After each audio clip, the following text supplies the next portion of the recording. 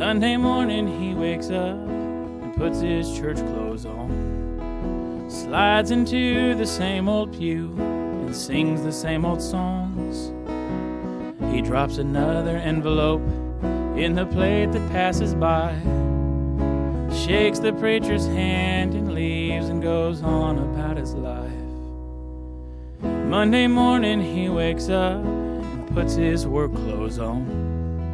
Slides into his pickup truck and turns on a country song. He lives his life just like the world, no difference you would find.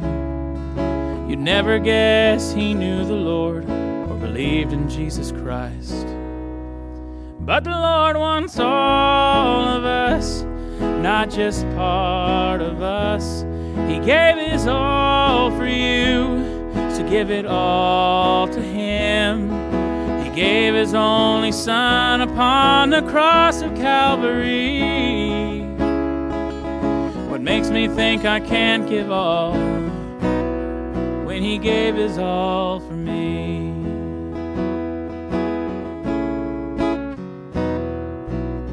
Wednesday evening rolls around. He gets home late from work. Hurries, he could make it there and be right on time for church. But he slouches down in his lazy chair and turns the TV on. As another member falls away, it seems the world is won.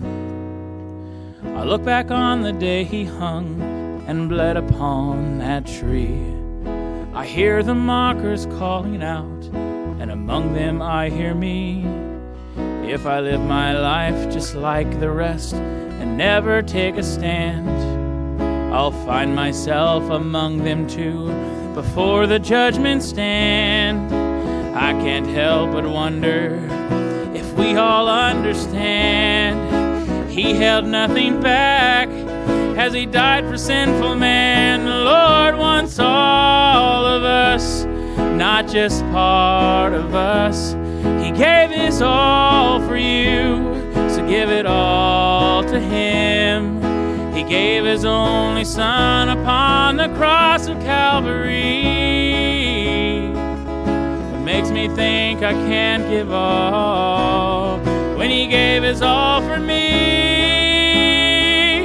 He gave his only son upon the cross of Calvary. Makes me think I can't give all when he gave his all for me?